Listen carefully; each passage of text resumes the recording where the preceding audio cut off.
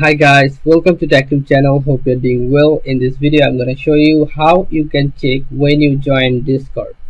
So in this case you have to go to this user settings first then go advanced then make sure your developer mode is on okay?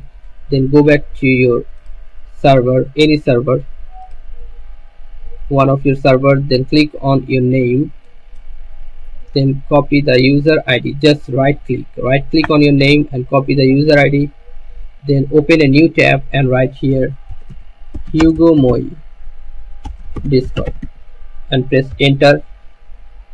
Then you will find this first link. Click on the first link. And you have to paste here the uh, your id just paste it here and click on this. Check the date. You can find here your uh, id opening time or discord opening time.